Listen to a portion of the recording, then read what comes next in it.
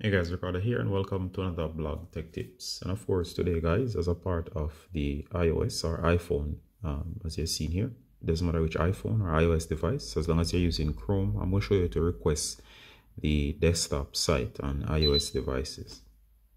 Alright, so the first thing you want to do guys, in case um, you want to do as shown here, um, in terms of requesting the desktop site on iOS, um, is go ahead and you're going to find um, Chrome once you find Chrome, um, you're going to go ahead and launch. Now, of course, once you're in Chrome as seen here, I'm on my website. And let's say I want to request the desktop version. This is the mobile version. Uh, most likely you can't find the settings. So go ahead and hit these three lines lower um, right. Now, of course, you look here and you don't see the settings. Most people actually go into settings, but yet they don't see anything in here as there's no option in here. That's because you have missed the option. So actually the option is um, actually right here, but it's hidden. So go ahead and hit start. Um, it might seem like settings is the end of the menu, but it's not. Go ahead and scroll.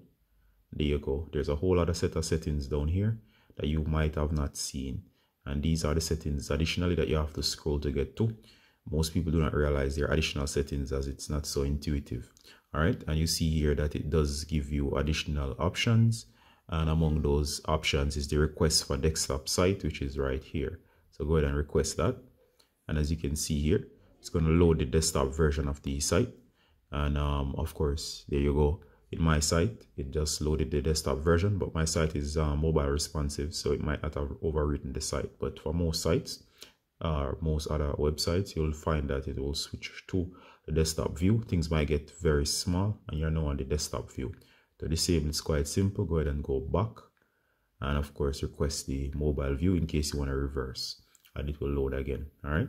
I hope um, the, tutorial the tutorial has helped. If you have any um, other questions, please ask them below. As always, Ricardo from Blog Tech Tips. And bye until next time. Bye.